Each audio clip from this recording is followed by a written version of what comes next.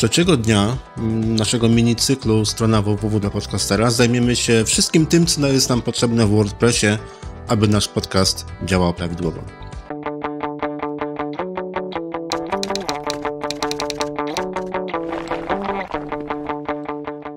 Cześć, jestem Krystian i witam Cię serdecznie na stronie Jak zrobić podcast.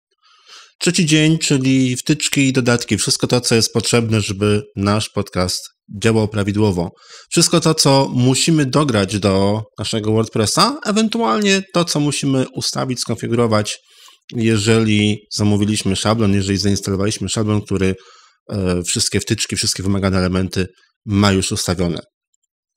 Przejrzyjmy je wszystkie, zobaczmy, co nam dzisiaj będzie potrzebne, co konieczne jest do e, uruchomienia podcastu, dzięki czemu możemy opublikować podcast, dzięki czemu możemy podpiąć uruchomić prawidłowy podcastowy kanał RSS, e, dzięki czemu będziemy mogli później udostępnić również i naszym słuchaczom subskrypcje i jak to wszystko razem ustawić, żeby nam ładnie działało.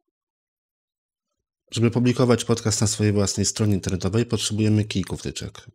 Kilku, dosłownie kilku, bo wystarczy nam wtyczka, dzięki której będziemy mogli umieszczać podcast na naszych stronach internetowych i która przy okazji wygeneruje nam Mm, kanał RSS i wszystkie te informacje, które są potrzebne później chociażby w katalogach e, podcastów. I czasami przydają się jeszcze inne wtyczki, na przykład do generowania adresów ze skrótami, czyli po prostu z numerkami odcinków albo coś tego typu. Jeżeli chodzi o wtyczki takie typowo podcastowe, to z tych, które znam, z które wiem, że są fajne i które można polecić, mamy trzy wtyczki. Pierwszą z nich jest Seriously Simple Podcasting. Wtyczka prosta, bezpłatna, prosta w obsłudze, zresztą jak nazwa już nawet sugeruje, dosyć popularna i na pewno nie będziecie mieli problemu z instalacją, z konfiguracją takiej wtyczki. I ta wtyczka domyślnie przygotowuje nam player, to są zrzuty ekranu, domyślnie przygotowuje nam player, Mm, domyślnie przygotuje nam też kilka innych informacji, które są w tym podcaście potrzebne. Po skonfigurowaniu jej po kilku tak naprawdę,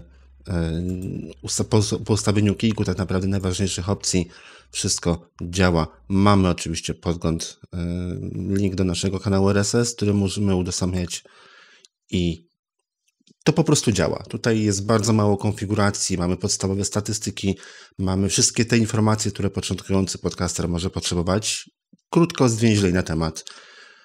Serwisy Simple Podcasting umieszcza podcasty w osobnej kategorii. To nie są wpisy, tak jak widzimy tu zrzut ekranu z WordPressa, są osobno wpisy, osobno strony i osobno jest podcast. Natomiast sam sposób dodawania każdych y, nowych odcinków jest identyczny jak w przypadku stron, czy jak w przypadku zwykłych wpisów. Drugą tyczką dosyć ciekawą moim zdaniem i nie wiem, czy przypadkiem nie najpopularniejszą i nie najlepszą, jaka w ogóle jest dostępna, to jest PowerPress. PowerPress został stworzony przez firmę Blabry, firmę, która oferuje również hosting dla podcastów, natomiast nie musimy korzystać z hostingu, aby móc korzystać z tej wtyczki. Wystarczy, że w poszczególnych artykułach, w poszczególnych postach będziemy po prostu podawali linki do plików, które są umieszczone albo na innym serwerze, albo na naszym serwerze, tam gdzie są strony internetowe. Wcale nie musimy korzystać y, z hostingu firmy Blabry, żeby móc korzystać z ich wtyczki. PowerPress jest wtyczką, z której ja korzystam i którą wszystkim naprawdę gorąco sugeruję. Wtyczkę można ustawiać na dwa sposoby. Albo mamy tak zwany tryb łatwy, albo tryb zaawansowany. W zaawansowanym trochę już tam rzeczy do ustawienia jest, natomiast dzięki temu możemy skonfigurować nasz podcast, nasz kanał RSS dokładnie tak, jak tego oczekujemy. Oczywiście jest też player na stronę internetową. Oczywiście są wszystkie i również i informacje, które mogą być później przydatne przy udostępnianiu takiego kanału RSS, chociażby przy subskrypcjach. Bardzo ważna rzecz to są linki do naszego podcastu, które możemy umieścić na stronie internetowej, linki, które kierują do iTunesa, do naszego kanału RSS, do innych opcji e, subskrypcji. Mm, i tutaj również jest ta wtyczka, przynajmniej w tym podstawowym zakresie, bardzo prosta, jeżeli chodzi o e, konfigurację. Nie ma tutaj żadnego czary-mary, z którym moglibyśmy sobie nie poradzić. PowerPress korzysta z wpisów naszych, z tego co mamy w WordPressie jako wpisy, czyli po prostu standardowe artykuły na bloga i po prostu pojawia się dodatkowy element. W zależności od tego, w jaki sposób mamy tą wtyczkę ustawioną, tych opcji tutaj może być więcej albo mniej. Domyślnie jest na pewno adres pliku MP3, na pewno jest wielkość pliku, na pewno jest jego długość, a te pozostałe opcje są domyślne, w zależności od tego, jak tą wtyczkę mamy ustawioną. Ja tutaj robiłem kilka testów, e, kilka doświadczeń z różnymi ustawieniami, w jaki sposób to funkcjonuje mm, z nowymi typami danych obsługiwanych przez iTunesa, dlatego też tutaj mam tych informacji nieco więcej. Natomiast standardowo wystarczy, że po prostu podamy adres naszego pliku. Po weryfikacji takiego pliku pozostałe te dane zostaną uzupełnione. I tak naprawdę to wszystko, jeżeli chodzi o taką podstawową konfigurację tej wtyczki. Jest jeszcze trzecia wtyczka pod LAW. Mm, wtyczka rozwijana niezależnie tak naprawdę od jakiejkolwiek firmy, która zajmuje się hostingiem podcastu.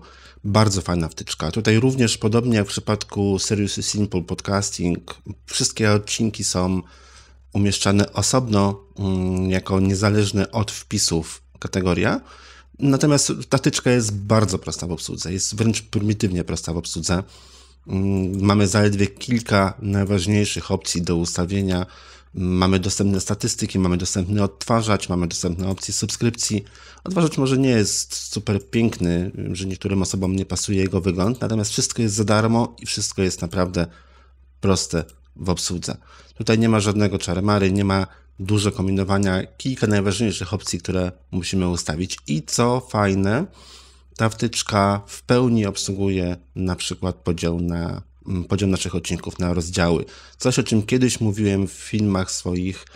Mm, nie wszystkie wtyczki to obsługują, nie wszystkie odtwarzacze podcastów to obsługują. Ta wtyczka domyślnie podział na rozdziały ma po prostu już wbudowany i tutaj wszystko działa.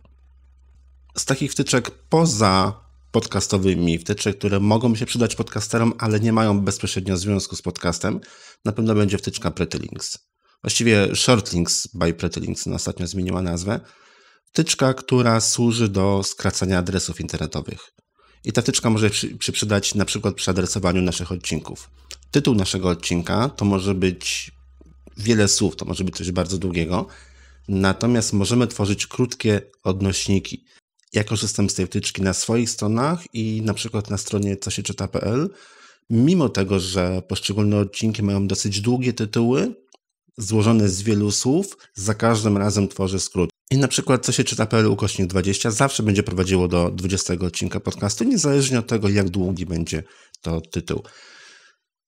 Dzięki tej wtyczce dużo łatwiej jest w poszczególnych odcinkach przekierowywać klientów też do innych odcinków, a też i zachęcać do znalezienia tego konkretnego wpisu, o którym słuchają na naszej stronie internetowej. Po prostu te adresy są dużo łatwiejsze do zapamiętania. Jeżeli stosujemy jeden system adresowania, naszych odcinków. Jeżeli zawsze jest to nazwa strony internetowej, ukośnik, numer odcinka, to w tym momencie zawsze, niezależnie od tego, który odcinek byłby słuchany, zawsze nas słuchacz wie, w jaki sposób może znaleźć inne odcinki, do których się odwołujemy, czy też znaleźć dane z tego odcinka, którego w danym momencie słucha.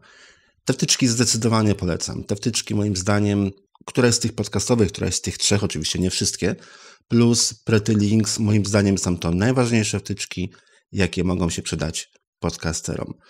Ja korzystam z wtyczki Blabry PowerPress, dlatego że była to po prostu pierwsza wtyczka, którą testowałem. Spełniła wszystkie moje oczekiwania z pewną nawiązką, ponieważ ta wtyczka ma ogromną ilość opcji.